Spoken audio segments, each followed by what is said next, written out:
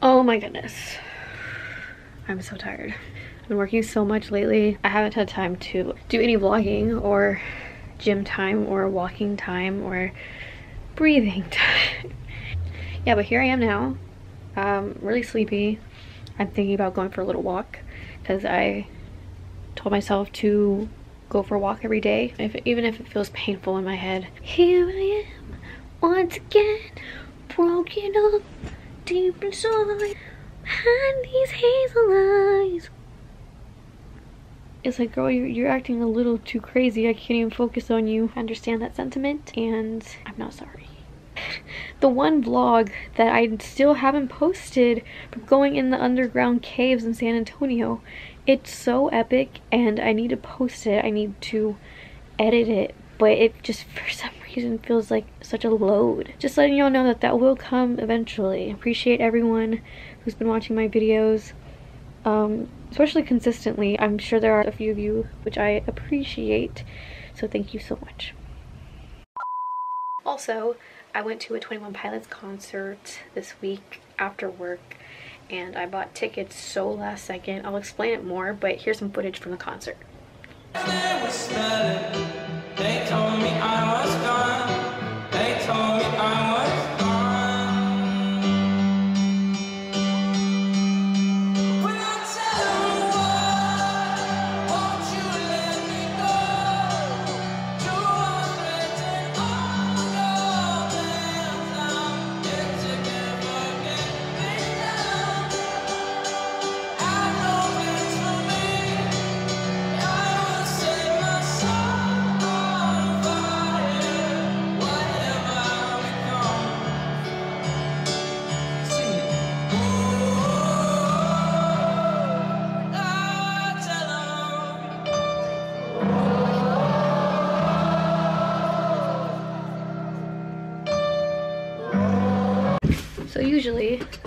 I like to just wait to the very last second to buy any type of concert ticket just because I'm okay not going to concerts, but at the same time I'm not okay. So I try to chance it, and I, I chance it to a point where I'm like, God, you know what, if I'm meant to go, then you will allow me to get cheap tickets right now last second. That's pretty much what happened. This girl was so sweet. I, I bargain with people. I bargain. That is my, my duty on Twitter when it comes to these sort of things. I like to bargain. That's what I need to do because I don't have money. It's not like I'm trying to chip you out of your money. It's that I literally don't have money. She wanted, should I say the amounts? I think she wanted like $75 for, for two tickets. And originally I just wanted one ticket, but then I was like, if I can get these tickets for cheap, then I'll get two and I'll take my brother with me or someone.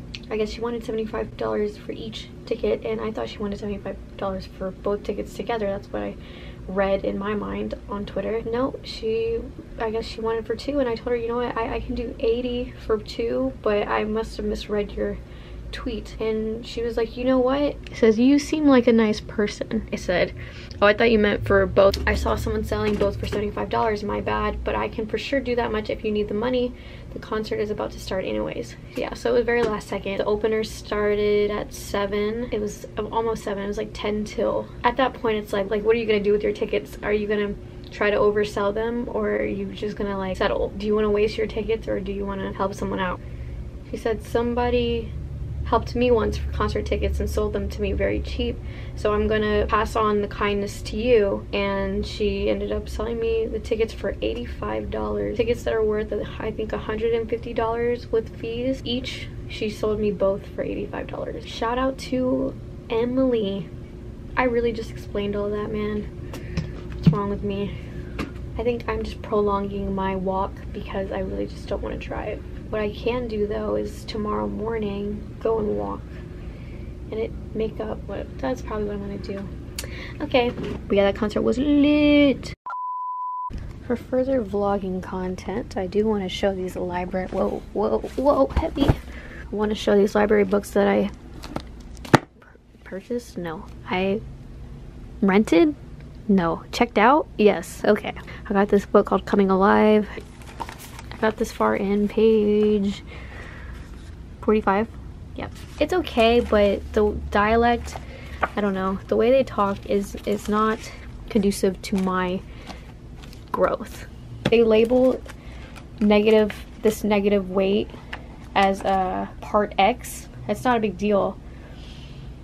but it messes with me a little bit because I read like the Bible and I, I know about like Satan's schemes and I know about um, just that spiritual battle and coming from that perspective it is it is different to see it labeled that way and not like given it, it a true true to me true to my beliefs um, kind of uh, justification. I don't know if that's the right word. It, it doesn't feel very justified in how it's being portrayed that that spiritual battle but anyways yeah i'm gonna return that mod podge yeah, I'm gonna buy Mod Podge because I really just need my life improved by said product because you know it'd be hard out here. I I have these stickers on my car that they're actual stickers. They're not like decals, and it's kind of sad to see my stickers peeling. And I think if I just put Mod Podge on them, um, they'd be okay. Yes, I need to buy some of that. Pop art. Yes, I haven't really read this much, but I love Roy Lichtenstein. I've painted my own little project when I was in high school. It's kind of, it's been through a lot. It has Andy Warhol. Those are the only two that I actually know. Some of these books are really cool just for your coffee table, which I don't have a coffee table at the moment, but in my mind I do. And then this one I have not opened really at all, but The Art of Ancient Egypt. I think there's a lot of things I can learn from this. Especially the way they build a pyramid and the way they set their like kings and their like pharaohs in the pyramid and how I, I don't know if anyone's ever done any research on the purpose of like the pointiness and everything, but it is supposed to be a symbolism of like a spiritual ascension. So look it up look it up and that's it. If you sat through all of that, I have to applaud you. I truly have to applaud you because who cares to listen to me talk about books? I'm not a book hauler. I'm not someone who, who does book hauls all the time. I barely read. But thank you for listening to that. That's that's real. You're real.